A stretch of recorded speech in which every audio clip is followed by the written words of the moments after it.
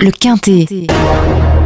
Bienvenue sur la chaîne YouTube Tom Kazak les pronostics hippiques en partenariat avec l'excellent site TheTurf.fr sur lequel je vous rappelle vous pouvez jouer à l'équivalent du quintet ordre aujourd'hui avec le The 5 ordre. Alors si vous n'avez pas de compte, inscrivez-vous avec le code Tom Kazak TOM Kazedaka pour bénéficier de 10 euros de plus pour jouer sur le The 5.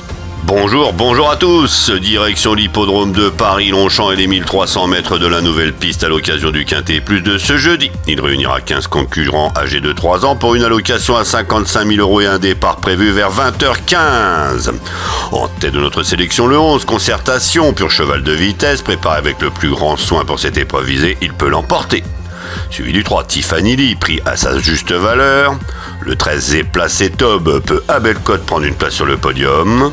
Le 2, On y croit toujours dans la bonne combinaison depuis ses débuts en compétition. Et enfin, l'As MCT Net devrait afficher des progrès sur sa dernière prestation. Il complétera notre sélection.